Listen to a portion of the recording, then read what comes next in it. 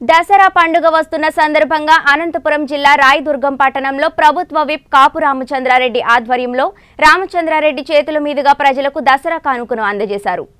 ఇరవై తొమ్మిదో ward councillor అభ్యర్థి వైజాగ్ రిబ్కా ఇన్ఛార్జ్ వైజాగ్ రవి దంపతులు దసరా కానుకగా వార్డు ప్రజలకు దసరా పండుగ చేసుకునే ప్రతి ఇంటికి పద్నాలుగు రకాల నిత్యావసర సరుకులు అందించడం జరిగింది. ప్రింట్ మరియు ఎలక్ట్రానిక్ మీడియా సోదరులకు కాపు రామచంద్రారెడ్డి సాలువాలతో సన్మానించి విలేకరులకు దసరా కానుకగా పద్నాలుగు రకాల నిత్యావసర సరుకులు స్వీట్ బాక్స్ ఇచ్చి విలేకరులను సన్మానించడం జరిగింది. సందర్భంగా మన ప్రభుత్వ ఎమ్మెల్యే కాపు రామచంద్రరెడ్డి అన్నగారు కూడా మన ప్రతి ఒక్క వార్డులో ఉంటున్న ప్రతి ఒక్క కుటుంబ సభ్యులకు కూడా ఈ దసరా కానుక వారి ఆధ్వర్యంలో అందించడం జరిగింది. అలాగే మీడియా పత్రికా విలేకరులకు కూడా సన్మానించి వారికి కూడా ఈ దసరా కానుక అందించడం జరిగింది.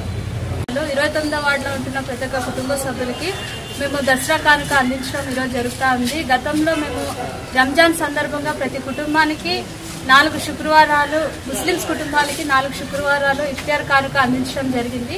ఆ ప్రకారంగానే దసరా పండుగ సందర్భంగా ప్రతి ఒక్క కుటుంబానికి మేము ఈ దసరా కానుక అందించడం జరుగుతుంది. ఈ సంవత్సరం అనేది కాదు కానీ ప్రతి సంవత్సరము మేము రంజాన్ కానుక మరియు దసరా కానుక అందించడం జరుగుతుంది.